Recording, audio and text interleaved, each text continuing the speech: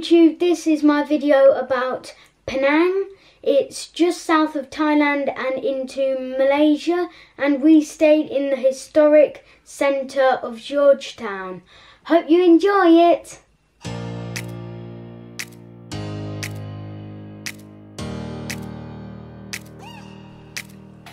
Georgetown is famous for its historic buildings, street art, and delicious street food. The reason the food is so good is because in Penang there's a real mixture of different cultures. This is just a few of our favourite pieces of street art, but it's literally on every street corner.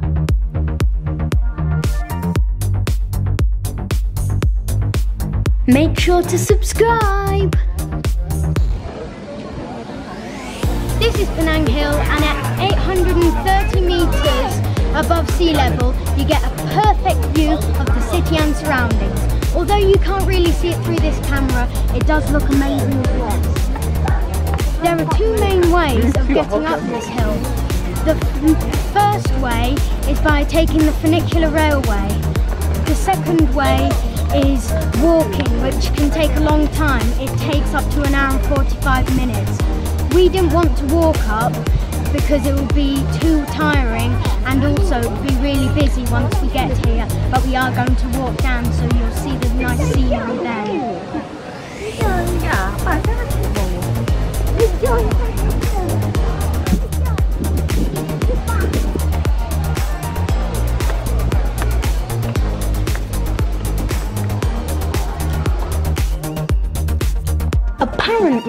I lied about walking down Penang Hill, so sorry about that.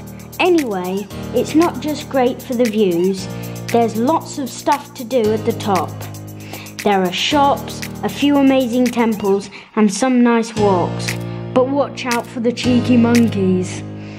One of my favourite things was trying the specialty pudding of Malaysia, sambal, which is a mixture of shaved ice, syrup, and fruit. My one had loads of ice cream and biscuits as well. It's great at the top of Penang Hill. Most people come up by this funicular railway, but I must say that the queues are massive and take forever, and you're squashed in the carriages like tin sardines.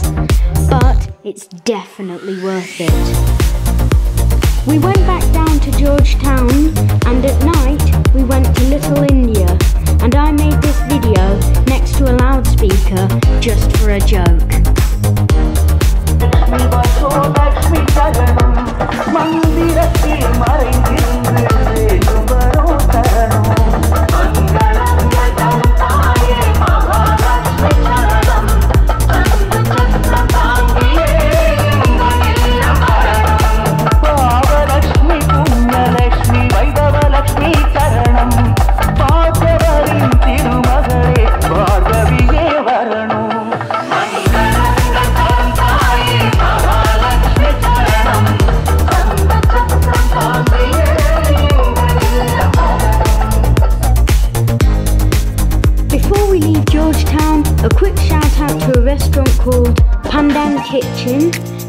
great food and the people there are really lovely.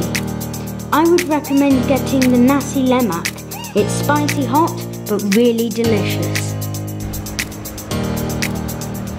This is Kek Lok Si and it's one of the biggest Buddhist temples in the whole of Asia and it looks pretty beautiful.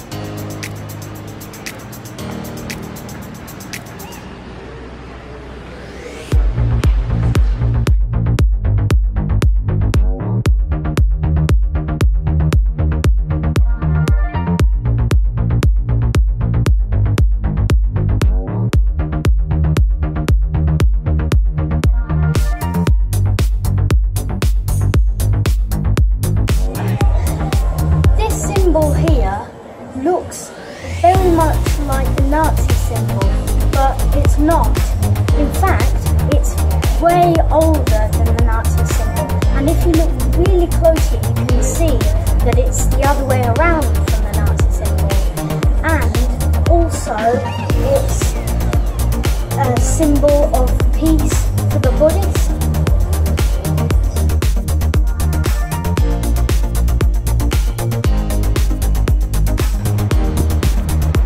Today we've come to Batu Ferringhi. I think Batu means beach, but I'm not quite sure. We came here by bus, and I'll talk to you about the buses later in another video.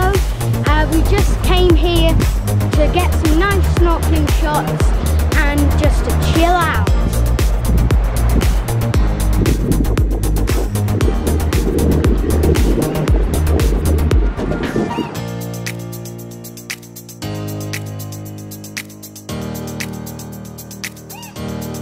These are the bus tickets we used. They're great and they're only 30 ringgit, which is roughly £6. You get lots of information and you can go anywhere on the island for a week, including the Snake Temple.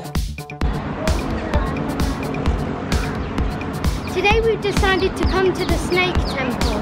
It's quite a long ride from Georgetown, but it only took about 45 minutes on the bus.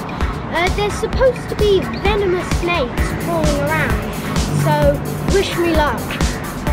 And hopefully we can see some really cool looking snakes.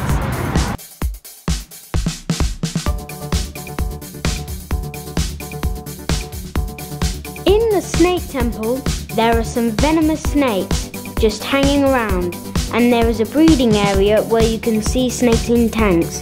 And just look at the size of these boa constrictors. This is a leopard gecko. Its tail is so fat because that's where it stores all its fat for food. And if it's being chased by an animal, its tail will naturally fall off and the predator will hopefully eat the tail instead of the leopard gecko. In this video, it's not the gecko shaking, it's me shaking because I'm so nervous. In the making of this next video, I am bitten by a big flying insect. It is quite funny, so we're going to show it you anyway. But before we do so, here's a picture of my horrific injury. Watch my right arm.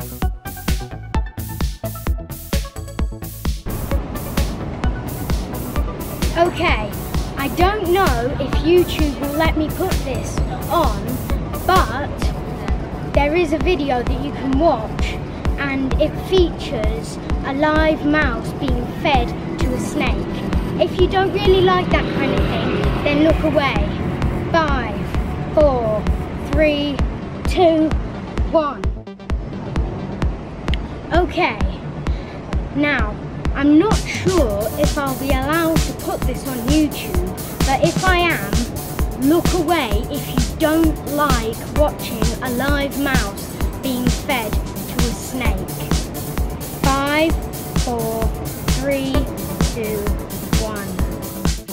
Oh, Okay, are you guys ready? yeah.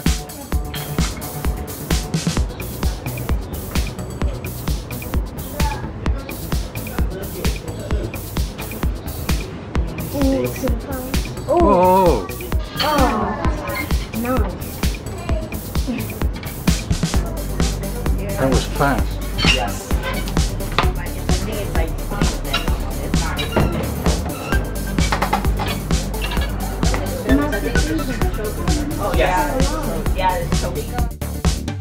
Before we go, I would like to show you some pictures of the delicious food in Thailand and Malaysia. I made a deal with my dad, and it was that every day I'd have to eat one meal of the local food, even if it was spicy hot and burnt my mouth, which it usually was. But there were a few delicious puddings and drinks. Make sure to like, comment, subscribe, turn on post notifications, and keep on watching until the end.